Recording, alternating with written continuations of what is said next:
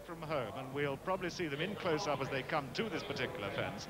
They're roughly three furlongs from home, and it's still the White Blaze, Tingle Creek and David Mould who lead from Pendil in second, coming to the third last. And there we are, Tingle Creek up and over from Pendil in second. In third place after these comes Amarin. Dulwich is forward as Balderson definitely right out of the hunt now, coming to the final two fences in this pattern chase with Tingle Creek rising just first from Pendil, who is closing all the time.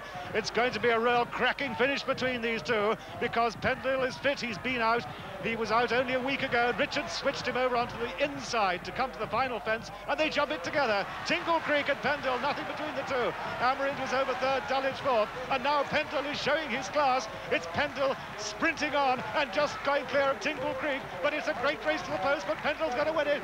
At the line, Pendil is the winner. Tingle Creek is second. Dulwich in the end just catches Amarin, so it's Dulwich third, Amarin fourth, and these for welfare of Osbalderston, who bravely took on Tingle Creek in the early stages.